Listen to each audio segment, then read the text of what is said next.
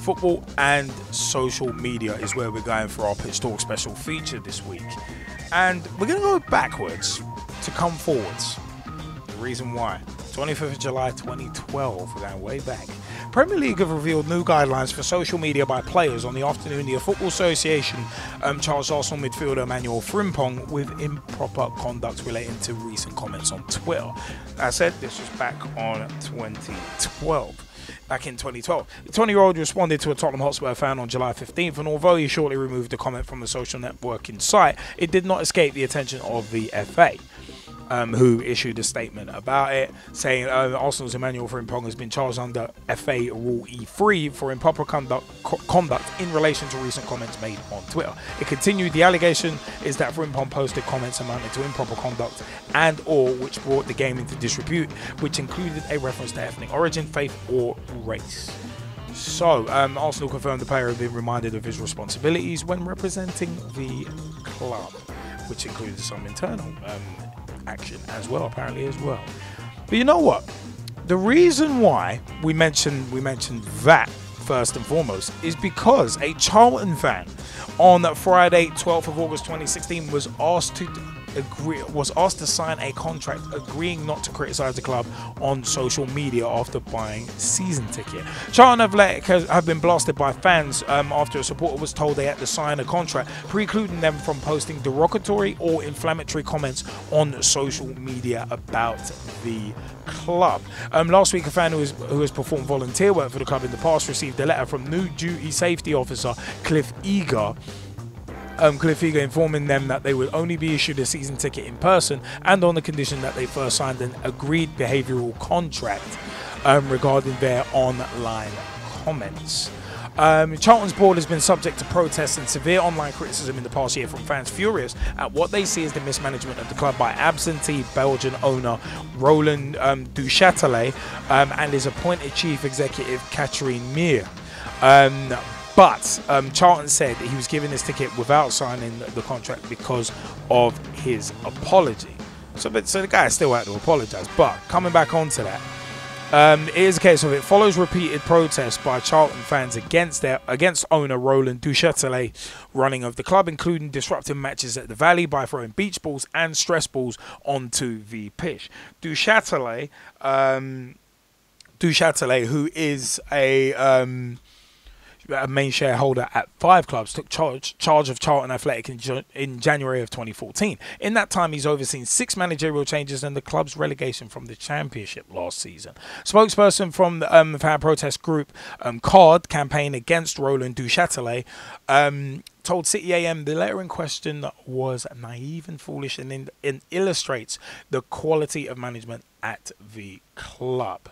Now, the letter itself actually said, um, "We are writing to you to in." Sorry, we are writing to you in relation to your recent purchase of a season ticket for the forthcoming 2016-17 season. While we appreciate your continued support here at the Valley, you will no doubt be more than aware of some of the issues that we unfortunately experienced towards the end of last season. As a club, we've listened to and acted upon some of the concerns raised by the supporters during the closed season should be closed season. But anyway, um, we, we have identified, however, um, that certain comments placed on social media websites by yourself have not been particularly constructive. Whilst we recognise that everyone is entitled to their own personal opinion, it is not helpful when inflammatory comments are posted on such websites. There is actually no detailing of that, but I'll come back to that. Um, as a result, it has been decided that your season ticket will be allocated to you in person by myself at the club by mutual appointment. Um, if you could please let me know when will be convenient, we can agree a date slash time when such issue may be made. I need to advise you that the granting of your season ticket will be conditional um, and subject to you signing an agreed behavioral contract, ABC, which will um, request that you refrain from posting derogatory or inflammatory comments regarding the club or people representing the club in the future on any social media websites or carrying out any other form of behavior that could be deemed to be of an anti-social nature. And that's from Cliff Eager, duty safety officer at Charlton.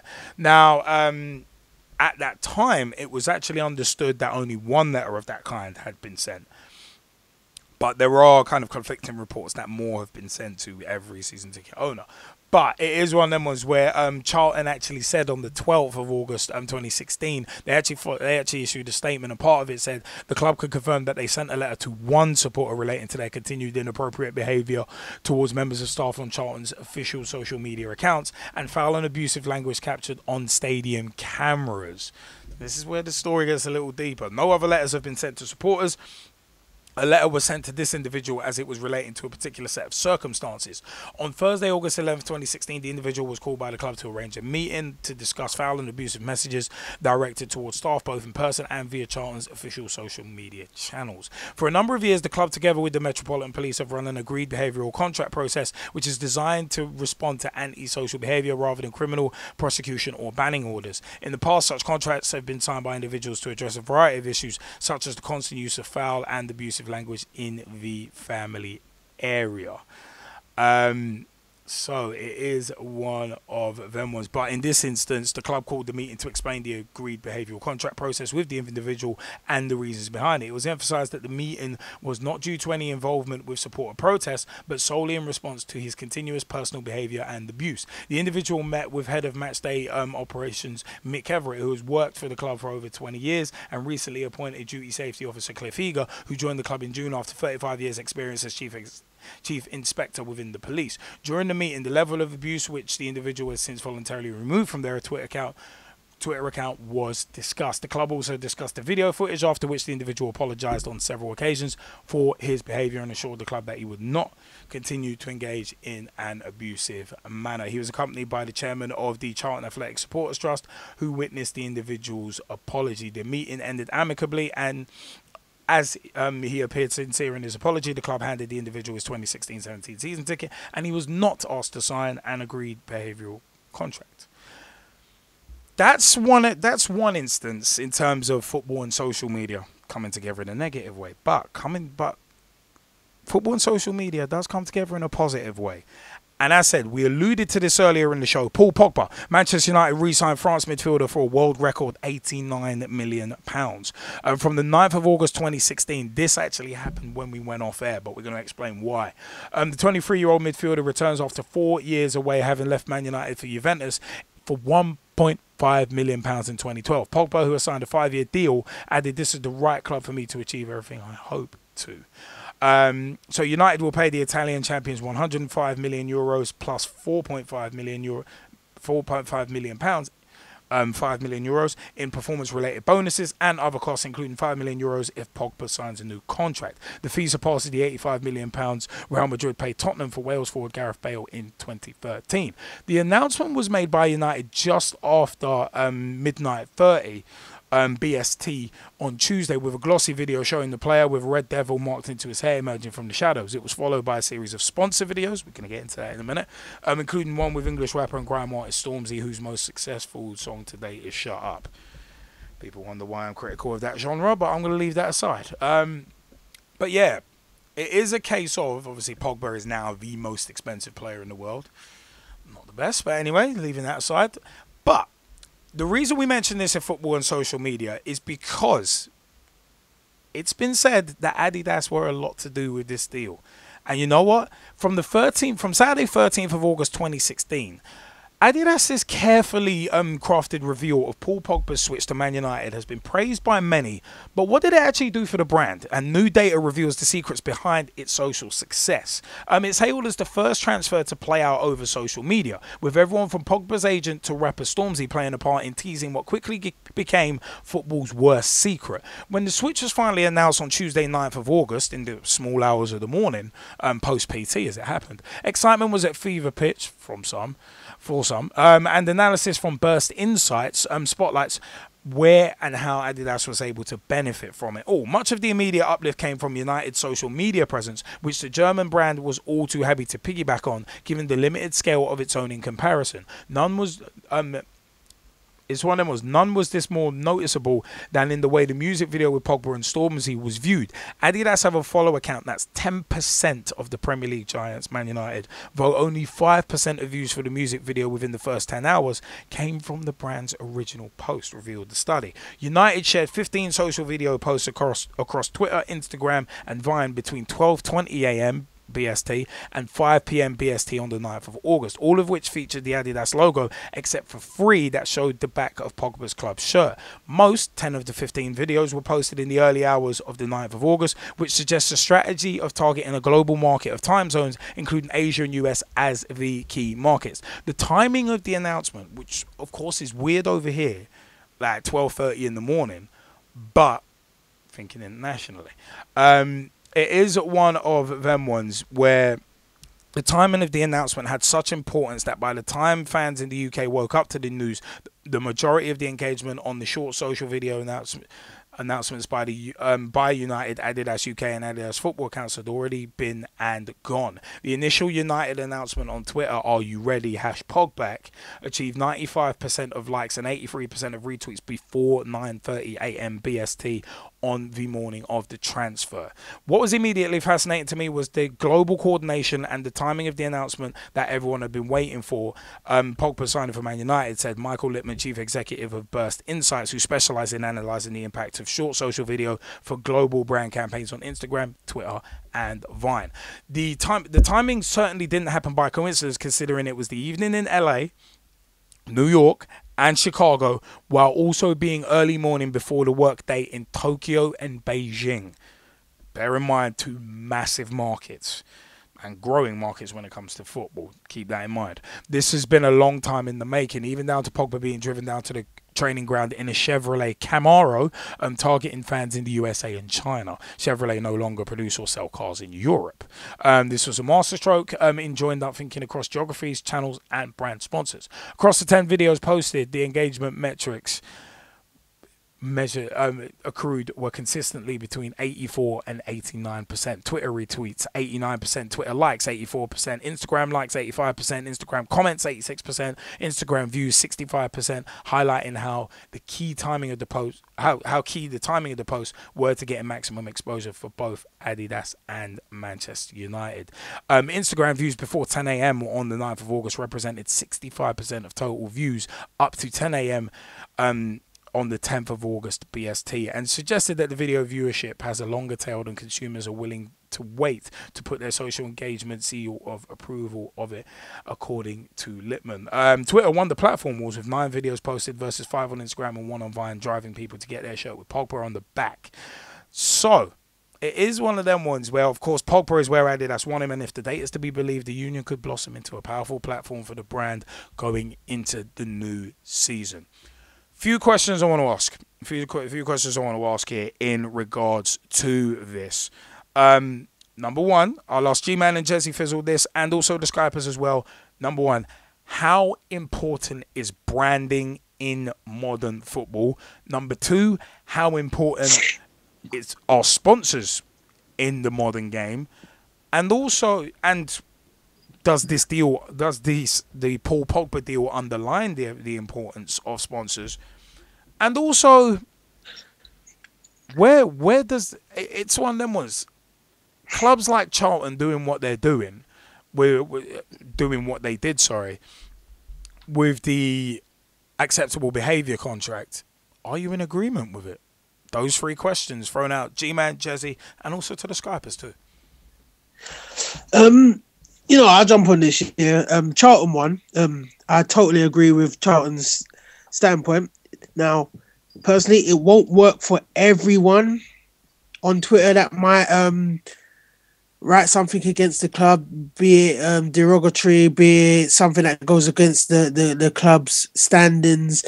However, you know, I, I feel that there are a lot of people who feel that they can say whatever and however they want to say it. You know, they'll just blatantly go out and say things where which they wouldn't necessarily say to a person's face or a group of people's face because they know it's wrong but they feel that they can just pull it out on twitter and have have their go and feel there's no comeback to towards it and in, in terms of you know if we're talking about brand you know all clubs you know should be able to defend their brands whether whether they feel something's been said which again there's having an opinion and then there's actually being you know, derogatory. There's being racist. There's being, you know, spurting out um words of prejudice. You know, the you know, the, the, there's there's certain channels and routes that you can go down of sharing your opinion about a, a specific topic. You know, without going down the lines of just blatantly being wrong about it. If you get what I mean, Liam. Um, yeah. So, do I feel Charlton went down the wrong route? They obviously didn't because you know even this particular guy has admitted that he he had said a few things wrong and you know he apologized for for the things that he had said. So i i don't see any harm in it but i said they won't be able to do it with every and anybody um because some people will be able to argue their case stronger maybe and you know it just be it would just get silly.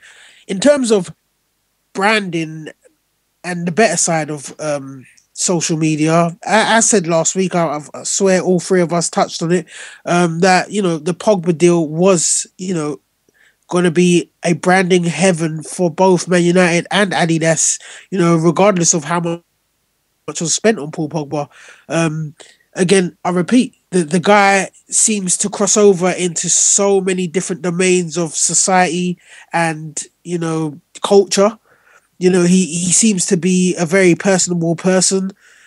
And, you know, a, a lot of young up and coming footballers and people who just love the game looking up to him and, you know, love what he stands for. They, they love his ambition. And, you know, it's, it's you know, what, what, what Adidas done with connecting him with Stormzy, another person who, you know, they they they basically sponsor an Adidas with the likes of you know other big names. I think this has just been one of Adidas's ethoses um, o- over the years. You know, just to you know make sure their brand is seen on some of the most um, influential characters of society um, in in the global domain, and um, you know, just t- yeah, touching back on you know Stormzy and the Pogba link up, it, it was a masterclass. Now, what you just read, read out there about you know the timings and the um, you know the, the the sort of lengths they went to release the information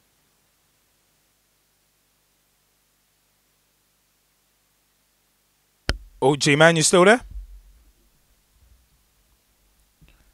It's that just shows you how deep, how deep Adidas and Man United thought about what they were doing in this transfer.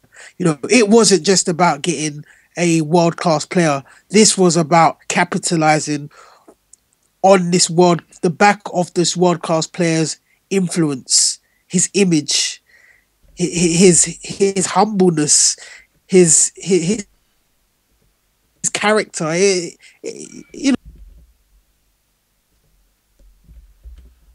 I mean, I, I'm. I don't, I don't know. I don't know. I think. I think. In, uh, sorry, G man, you, you cut you cut up a bit there. Do you want to do you want to go back just to touch? You talk about um humbleness, humbleness uh, about. Oh no, I was just saying yeah, they, how how they've not not exploited, but they've used his character, his, his humbleness, his his you know his his intelligence, his his they've they've just used the fact that he's such a personable character, and they've capitalized on it. Um, but I just want to touch on the the branding thing. Has is it now that branding ha- has become such a big thing for clubs? No, it's always been a big thing. Sponsorship and branding has always been a big thing for clubs, but it's the new technology and the new social media wave that has enhanced it. Well, speaking was well, you know what? Speaking speaking of that, then what do what do you think about the Charlton thing then? Do you think do you think that's kind of do you think that's basically a botch when it comes to new technology? Because obviously, this supporter was saying was saying obviously shooting his mouth off on social media.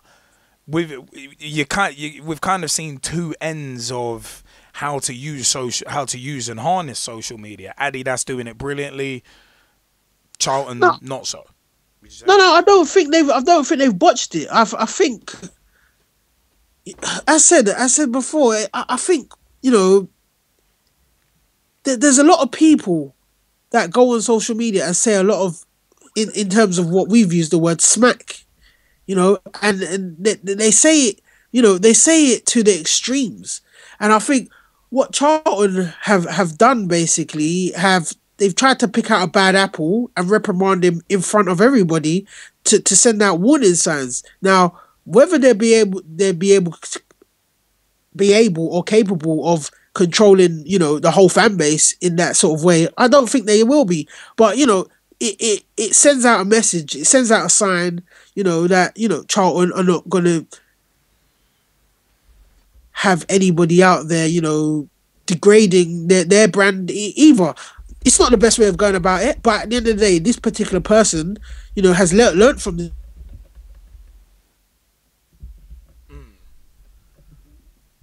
Well, it's one of them was you'd hope the person has learned from it. That's a, that's a, that's the thing. You, I, I, to agreement, and they've accepted that they've. Yeah, I mean, I'd hope that that person has learned from it. That's, that's all I can say. But I mean, Gezzie Fizzle, did you uh, did you want to jump in? Did you want to jump in on this as well?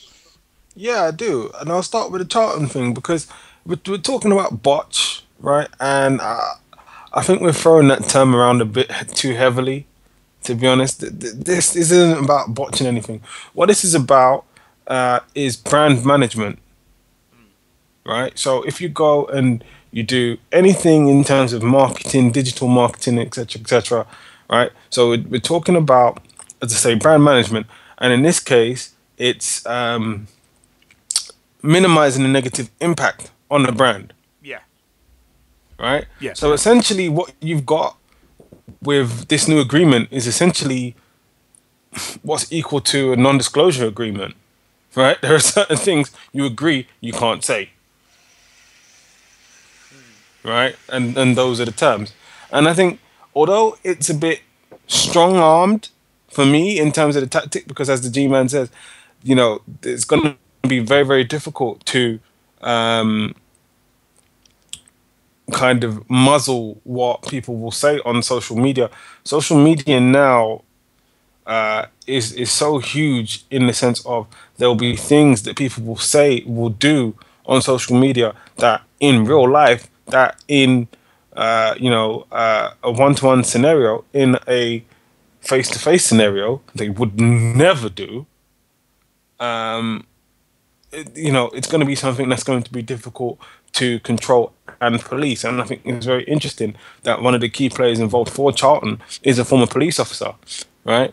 And as it stands at the moment, any kind of derogatory or abusive tweet, especially against celebrities, these are all under review by the police and everybody's monitoring what's actually being said on social media. So it's a very, very uh, open and, and, and kind of gray area and in terms of brand management and minimizing the impact of you know potentially detrimental situation, they're doing the right thing from a marketing perspective. But as the G man said, it's going to be very difficult to control. Very very difficult to control. I mean, they had to take some sort of stand, which is why they're doing what they're doing. But to control it out and out and out, I really, really don't see how that's going to work. Now, in terms of the whole Paul Pogba deal. Listen, I'm gonna write a blog about this because I, I have to go into this in, in far more depth than we have time for. But I want to say a big shout out to everybody over at the Drum. Uh, their their articles on this were just fantastic, and it, again, it just reinforced what I was saying last week about the whole deal, mm. right? So, Adidas, main sponsor for Manchester United, Paul Pogba, a recent um, Adidas convert in terms of he's now sponsored by Adidas. Right? Yeah, 31, he, 31 million pound deal, by the way. Right? So that that's his personal deal with Adidas. Uh, now, when he was with Juventus, I think he was part of Adidas Global. He, he wasn't part of, say, for example, one of the bigger brands, which would be like Adidas uh, US, which also happens to include, I think, most of the NBA teams because the NBA their their kits are made by Adidas. So if you were going back to his Instagram, and this is where again it all ties in. You go back to his Instagram where Paul Pogba is playing basketball, right? He's wearing Adidas branded clothing, even though it's from a different sport. It all ties in. for Paul Pogba as an Adidas athlete, for Adidas as a global brand. Everything ties in. Everything. Right? And as I say, you go back to uh, some of the pre deal advertising and announcements, even with the blah, blah, blah advert. Right? Now, I didn't even notice that Stormzy was in, in that at the very beginning. Didn't even notice. Right? Like the straight shooting one, when Stormzy essentially blew up, I'm like, who is Stormzy exactly? I'm still like that now, personally, but yeah. Right? So, as I say, I didn't even notice he's in in the beginning of the blah blah blah advert. Right? So it's fitting. Again, all ties in for Stormzy, for Paul Pogba. Apparently they're friends. For Adidas, for Manchester United. All of it ties in. In terms of marketing and social media marketing and digital marketing and modern marketing, as a campaign, it's been absolutely brilliant. Right? Mino Raiola, who's his agent, he's tied into all of that as well. Yeah, yeah, All yeah, of he- it yeah. He's tied in for twenty million pound, to be honest. With that twenty to twenty-five million pound, that's his tie, just for being a middleman. I'll get into that in a sec. As I say, all of it is interconnected, and let's not forget the club that he left, right? Juventus, they are also sponsored by Adidas. Okay, so uh, as I say, I'm gonna write a, a blog about this. It's gonna be called "The Curious Case of Paul Pogba, Part Two. I was going to say part two because the first one was in like what twenty what Yeah, yeah. 2012, 2011, Yeah, yeah. 2012 Yeah, yeah. when Pogba left. part two, part two, a very modern footballing transfer. And the other thing about all of this is is essentially in this current era that we're in, where social media is where you're going to get the news first. I mean, weren't we talking last week about um, the deal with the Premier League and Twitter for football updates in terms of clips for goals and things like that and major incidents? Highlights, exactly. Yeah. right? So that shows the impact of social media now. It's not so much about traditional print and broadcast. If you're on traditional print and broadcast, to be honest, you're behind because a big part of your audience is not there. So if you're going to do your announcements of new signings, etc., etc., all of that has to tie in with your uh, print and traditional um, media marketing campaigns as well as through social media. If you want to be fast, you have to do it on social media. I think one of the videos uh, with the announcement was put out by Stormzy and then deleted, and then I think it was uh, re redone initially because it, it broke through that and it wasn't meant to break at that time etc so there's so many different elements to this again uh, it's going to have to be in a separate blog post the curious case of paul pogba part two a very modern british transfer but just to touch on the finances part of this and i will wrap this up is it's very interesting and I know a lot of people, a lot of Man United fans are saying, and a lot of football fans saying, oh, but Manchester United shouldn't have paid that amount of money for him. Here's the reason why they do, right? Once upon a time, right, when a player had developed for Manchester United to a certain level where he was accepted as being one of the best players in the world, what would generally happen was Real Madrid would come in and say, yeah, we want this guy because he's generally regarded as one of the best in the world, throw some money down, some substantial money at that, and the player's gone. Now there's a paradigm shift in the sense of no, it's not as simple as you know Manchester United are essentially a selling club to Real Madrid or Barcelona or whoever else. No, they're also now a buying club. And the thing is, to tie it into the, the transfer discussion that we had earlier, right? The big television deal. What was the numbers of that again? I think it was like five something billion. Five point one three six billion pounds. I know that off the top of my head because I've mentioned it so- on so many different occasions to so many different people. And that's why I ask you because I know you got the numbers down. This 5.136 billion, that, that was that's the number. yep, that's the exact number. Right, this 5.136 billion, it plays a bigger role than you think. We say, "Oh, but why are they paying 25 to 30 million for Yannick Bolasie?" There's 5.136 billion reasons why you're paying that money for Yannick Bolasie, and that's all I've got to say about that. No, fair dues. Fair, du- fair dues. I mean, I mean, it, it's it's it's one it's one of them ones where, like, for me, for me, it's for me, it's it's a case it's a case of I, I'm going to I'm to take these I'm to take these in the order in the order that they were read in. Um, it's a case of with the and we're definitely definitely to come back um, come back to the Skypers as well. Definitely want the Skypers um, to jump in on this one. Um, but it, it is one of them ones where looking at looking at chart looking at Charlton Athletic, there's a couple of different there's a couple of different areas to this. The reason why the reason why the Premier League issues social media guidelines for players was mentioned is because stuff like agreed behavioural contracts, these things are already kind of in motion. But it's one of them was it's a different thing to have an agreed behavioural contract with a employee basically or a player and the customer. And I actually had an interesting little discussion about this with um, Jonathan Lees, aka Jono, who is co-chairman of Ibis Eagles AFC, because he sh- he shared a picture on um, his thing about it. And I said there are two sides to this, but of course we'll discuss this tonight. But it's one of them ones. Um, players pretty much do have a similar code of conduct, but look at the Adam Johnson case. Because Adam Johnson breached the codes of conduct, and obviously Sunderland and Adidas dropped him like a bad habit. So it was well, Sunderland kind of dropped the ball on that, but it is one of them ones.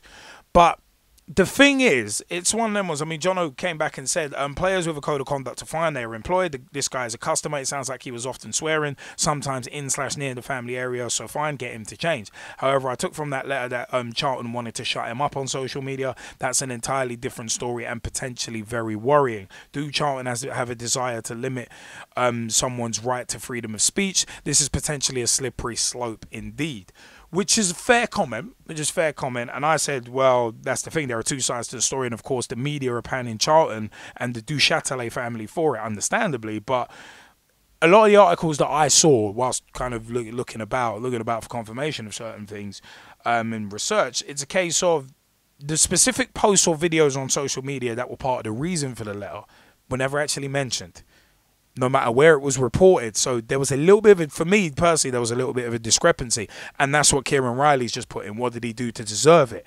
This is this is the thing that's been very very sketchy throughout this whole thing, which is why I can't completely personally land base Charlton for doing this.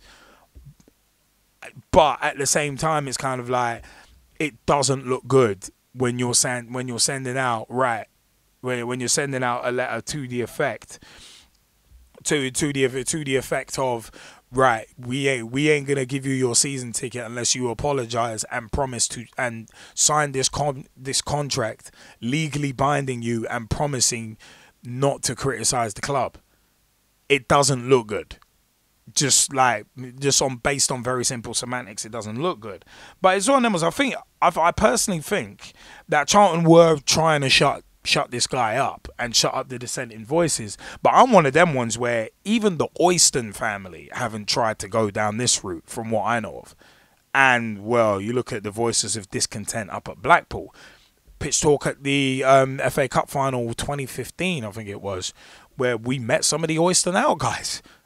Hey, we we help, we actually helped promote them, um, to be honest. But I I always try and look at this from James Bond, Tomorrow Never Dies. I'm going to quote that. I'm going to quote a line from Elliot Carver um, in that film. And for those who love that film, you'll recognize this. But it's not the how, the what, or the where, but the why that's important.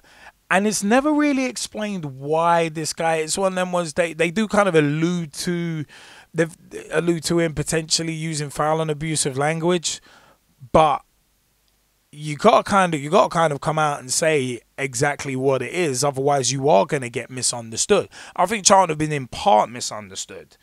Um, but at the end of the but at the end of the day as much as as much as yeah you can't really get um, you can't you can't really get people adhering to codes of conduct. It is like customers adhering to codes of conduct. At the end of the day it is one of them ones where fans and customers are basically brand ambassadors. I mean, me what me walking around in a Liverpool shirt, I am technically a brand ambassador for the club. When like I'm walking around in a pitch talk shirt, I am technically a brand ambassador for the club.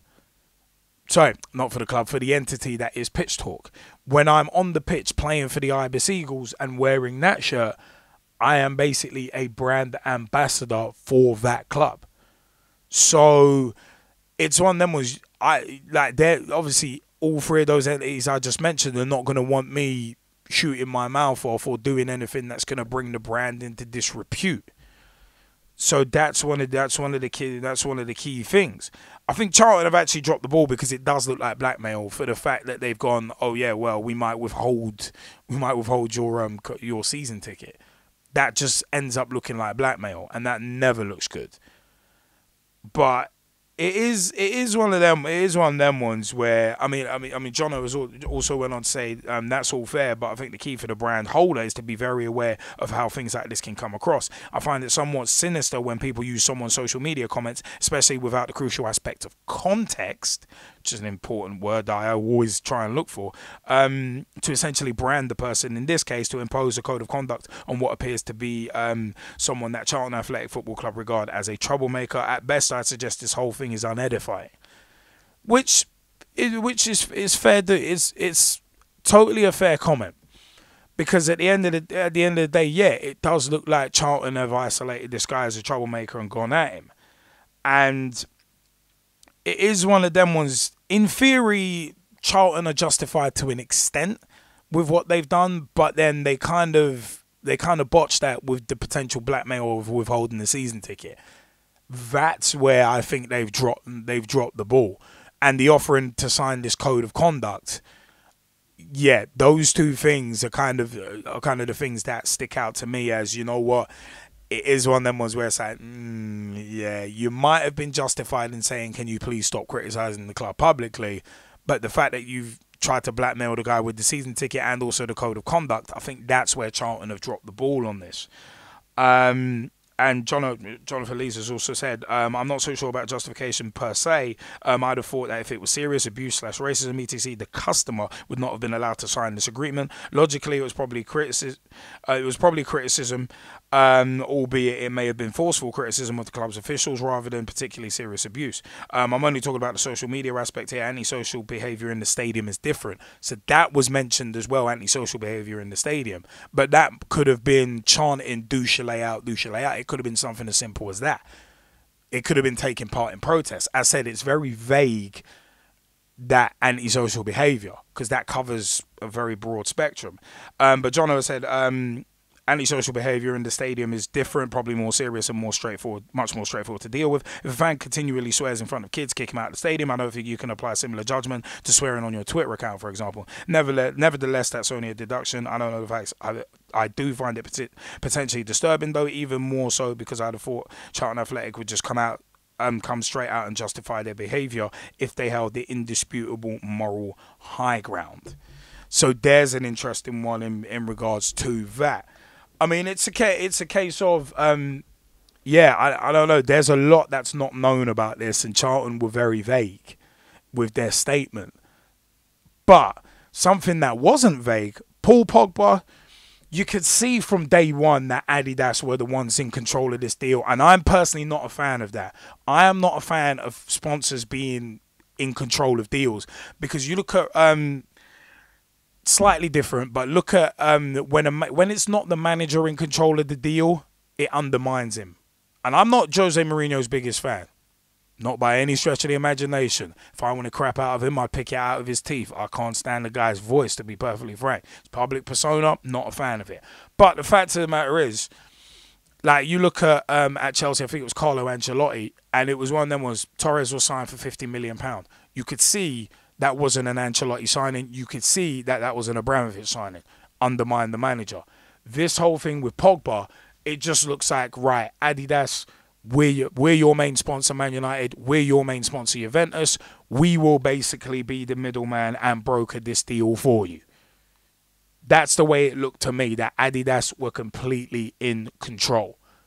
That's that's what that's what it looked like to me. And the fact that Adidas where is it? Adidas have a follow account that's 10% of the Premier League giant, Manchester United. So it's a case of Adidas are just looking at it purely from financial hits, that kind of thing. They're purely looking at it from that aspect. I think it's one of them ones where, considering they probably they, they could make their money back in shirt sales, they couldn't they could give less than a damn how he performs out on the pitch. if Paul Pogba has a great season and wins the Ballon d'Or, let's let's say, um, I would personally, for that kind of 89 million, I'd expect a Ballon d'Or within two seasons. Just putting that out there.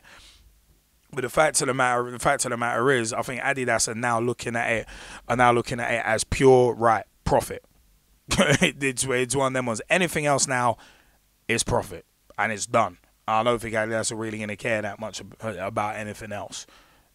I mean, the whole the whole Pogback thing, it just gets, it basically just gets, um, it gets Adidas's name in terms of football, a bit more, a bit more visibility on the social networks, and that's at the end of the day. I don't think they care about how Manchester United do. What their chief executive might come out and talk smack about Louis Van Gaal. Oh, you're not playing very well, da, da, da, as we discussed on PT Live last year. But the fact of the matter is, I'm not a fan of sponsors being so involved in deals and basically doing the deal. I'm not a fan of Mino Raiola getting 20 to 25 million just for being the middleman and broker in the deal. Because agents, as we discussed again last year as well, um, and there's a pitch talk, I think, push point about agents being deregulated. Not a good thing because you're going to get more of this crap happening. So it's one of them. From a social media standpoint, Adidas have played an absolute masterstroke with the Pogba deal and the whole Pogback thing. They've played an absolute masterstroke. It's been it's been it's been genius. It it's been legitimate genius to be perfectly frank. So it is so it is it is one of them ones. I mean, props to Adidas for it. Man United, I think it would. I think they were just one of them was they were they were the tag-alongs. It's like right, you've got the big audience. We're gonna use your big audience and use you just like the Glazers have used them, have used the club to line their own pockets, in my opinion. I think Adidas have done the same with Man United's social media following. That's the way I see this Pogba deal. They've just used them to piggyback on on that and have been like, right, we're gonna use that, done. But I mean, Gezzie G man, did you you want to jump in on, on what I've just mentioned, or shall we yeah, out to the I'll, I'll say this quickly uh, you, you say that Adidas has, gone and piggybacked on it. Look, it's a mutual relationship. It's a mutual relationship. But is it right? though? Because Both. Man United are paying for the deal. Man, Man United are Man United are supposedly paying this eighty nine million pound and twenty million to the agent. It's not Adidas doing it. And at the end of the day, it's Man United who are in the Premier League, not Adidas. Yeah, but don't Man United have like a? Uh, didn't Man United sign like a five hundred million pound five year deal with Adidas anyway, or six year deal with Adidas? I think so, yeah. So Adidas are paying for it when you think about it, really, right? Mm. It's in a beneficial position for both parties. Like I say, it's mutually exclusive. No one actually loses out here, not even Paul Pogba, right? And as the G Man was alluding to, he's now becoming this crossover star where all he has to do is, you know, bring out a shirt to go give to one of his entertainer friends, whether it's Drake, Stormzy, whoever, right? Sign that. Okay? And and, and that's a major incident um, in terms of branding and marketing and him being a crossover star. He can go and appear in a music video for either one of those guys. Just making a cameo. Right? He could do like a Osi Umenyiora for the dream. Right? Where he's playing, you know, uh, the opposite character, the opposite lead character. He could do that in the video. He didn't even have to say anything. He just has to be there, wear some Adidas trainers or Adidas hat or Adidas hoodie or whatever, right? You can say one line or something like, "Yeah, first never follows." The whole thing's done. So essentially, whoring out. So essentially, whoring your out, whoring out your image from prof, for profit. Is that where here's, you're going with it? Here's the other thing, right? You, you you talk about that, and I say to you, in terms of your own personal brand management, what do you think that actually entails? Mm. your own personal brand management is exactly that. You're putting yourself out there and saying, This is what my product is, buy it. Mm. It's exactly the same.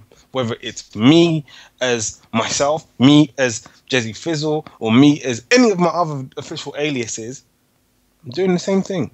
How many official aliases have you got? Um, the Jazzy Fizzle Sizzle tour. right? You're essentially doing the same thing. Whether it's you with LJ Productions or you when we're you know guerrilla marketing pitch talk. It's the same thing. Those are technically not aliases. Those are kind of part pseudonym. No, no, no. I, I didn't say they were aliases. I'm saying to you that even for you personally, it's the same thing, and they're not doing anything different. They're not doing anything different from what you do, what I do, uh, what any other big company does, which is essentially, look, this is what we do. If you like our service, try it, buy it. No fair. Yeah, I And think, I think Man United say- as a brand have basically been hoarded out anyway. How many sponsors have you got on your training kit? Like four, five, six, something like that? You See, now here's the other thing. It's It's just it's just a different way to do business. It's a better way to do business, in that you get multiple streams of income. Whereas other teams now they want to look into that. And I say to you, if you go and you look at, say, for example, a kit from uh, maybe like the Norwegian or Danish or even Swedish uh, second or third divisions, right? Or better yet, one of the uh, bigger teams in the Brazil route, for example, and see how many sponsors are on their Oh, shirts. those shirts look ugly because they're just littered with sponsors on them. No, but this is my point. Except it makes sense for them because again, it's multiple revenue streams. Yeah, but that's because that's all they've got. They haven't got a five billion pound TV deal being split between just twenty teams. No, but this is the point, right? And even if you do have that five billion, So it, it, uh, pound TV deal split between twenty teams, and you're one of those twenty teams, why shouldn't you then look at other additional revenue uh, income streams? Why shouldn't you be doing that if you want to put yourself in the best position as a business? What did we say about the rules of making money? Don't lose money. Don't lose money. Well, football clubs are, are, are um, what's it? Businesses, extremely badly run ones, but businesses, nonetheless. That's kind of. Uh, but I don't know, man. I think it's it's it's one of them. It doesn't sit entirely well well with me. I think I think some sponsors have got a bit too much stroke. I really do. I don't think it's good. I don't think it's good for the. I don't think it's good, not just not just for the game, but for managers as well because it's one because it's one of them ones that um it, be- it's it's like it's like being it's like being a booker like let's say Jim Cornette Dusty Rhodes a couple of others part of the booking committee in WCW and then you got Jim Herd overruling everything you do and undermining you it's like there's no point I appreciate where you're going with that. I do, but in the case of these mega deals, and this is one of those, right? If this player helps to turn your fortunes to the point where, okay, you go, you win a league title. Okay, you go qualify for the Champions League. Okay, you have a good domestic cup run. Okay, you have a decent run in Europe, right? Which means even more eyes on the brand. Which means even more um, merchandise, not just shirts, but all merchandise working being on sold fair. yeah go on.